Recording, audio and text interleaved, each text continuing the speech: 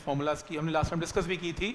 पहली लिमिटेशन है, ये मेथड आपको डायमेंशनल कांस्टेंट की वैल्यू दे नहीं पाता। डिस्कस किया था हमने कांस्टेंट की वैल्यू आप निकाल नहीं सकते। दूसरा दूसरा क्या है इसमें?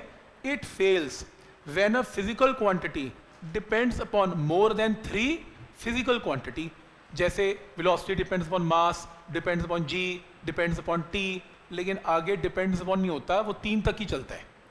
नेक्स्ट है it fails to derive relationships which involve trigonometric log या एक्सपोनेंशियल फ़ंक्शंस कभी ऐसा क्वेश्चन आया?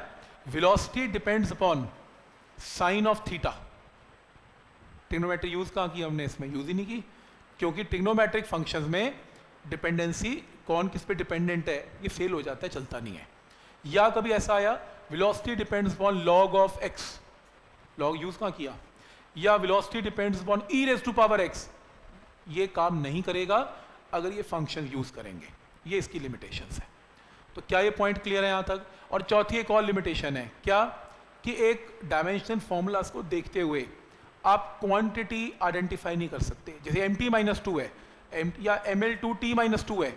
M L T M L two T minus two किसका? यूनिट है? एनर्जी का। कौन सी? पोटेंशियल पता नहीं. काइनेटिक पता नहीं. वर्क डन पता नहीं. हीट एनर्जी पता नहीं. तो क्वांटिटी कई हो सकती हैं लेकिन डायमेंशन फॉर्मूला एक है. तो ये भी इसका एक डिसएडवांटेज है. तो क्या ये पॉइंट क्लियर है यहाँ तक? ठीक.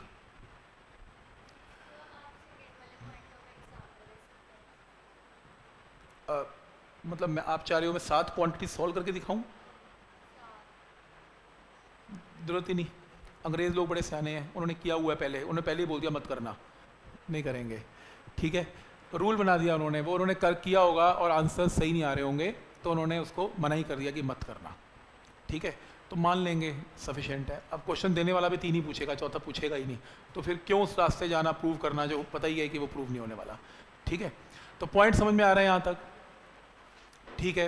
तो यूनिट्स एंड डायमेंशन का चैप्टर बिल्कुल ख़त्म है। इसके अंदर अब कोई नया टॉपिक नहीं करने वाला। तीन लिमिट तीन इसकी एप्लीकेशन है, तीनों हमारी हो गई कंप्लीट ठीक है? अब हमारे पास क्या पेंडिंग है? ऑब्जेक्टिव शीट पेंडिंग है। एक ऑब्जेक्टिव शीट भी तो थी ना? ऑब्जेक्टिव शीट है।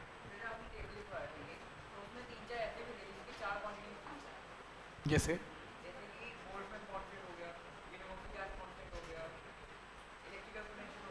तो इनकी सेम आ रहा है आंसर नहीं, चार आ रही हैं, पर चार का डिपेंडेंसी का रिलेशन नहीं आता। डायमेंशन फॉर्मूला तो चार में मिल सकता है, लेकिन वो depends upon depends upon depends upon तीन तक ही चलता है। ऐसा है इसका मतलब।